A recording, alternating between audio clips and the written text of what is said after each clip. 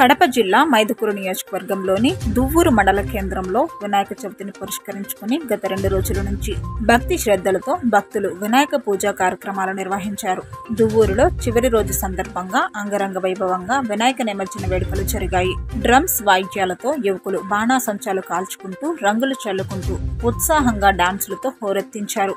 మండలంలోని ఇతర గ్రామాల నుండి వినాయక విగ్రహాలను తెలుగు గంగా రిజర్వాయర్లో విగ్రహాలను నిమజ్జనం చేశారు. ఈ కార్యక్రమం మనకి ఎలాంటి ట్రాఫిక్ అంతరాయం కలగకుండా ఎటువంటి అవాంఛనీయ సంఘటనలు జరగకుండా Duvvur SI KC Raju police బందోబస్తు ఏర్పాటు చేశారు.